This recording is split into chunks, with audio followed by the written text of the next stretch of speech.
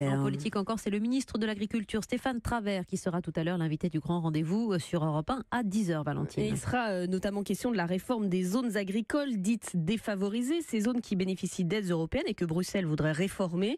Dans certaines régions, certains agriculteurs ne toucheront plus ces aides, notamment dans le sud-ouest, où les éleveurs se sont euh, mobilisés cette semaine. Écoutez le président de la Chambre régionale d'agriculture de la Nouvelle-Aquitaine.